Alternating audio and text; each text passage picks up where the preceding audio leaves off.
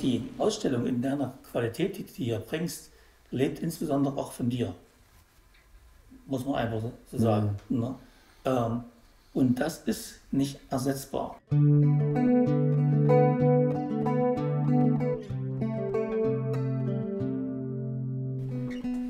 Also die Sachen werden ja erst lebendig, wenn sie eine Geschichte erzählen. Wenn es die Geschichte nicht mehr gibt, hat das Objekt auch einen ganz anderen Wert. Und es lässt sich auch nicht alles aufheben, was es mal gegeben hat. Das ist, ich denke manchmal wie so ein Kometenschweif. Es gibt so vorne den Kometen, da ist alles, das ist so unsere Welt und dann gibt es diesen Schweif und der wird halt immer dünner. Der größte Teil geht in die Tonne. Ja, ja. Machen wir uns doch nichts vor. Natürlich ist das so. Gagarin.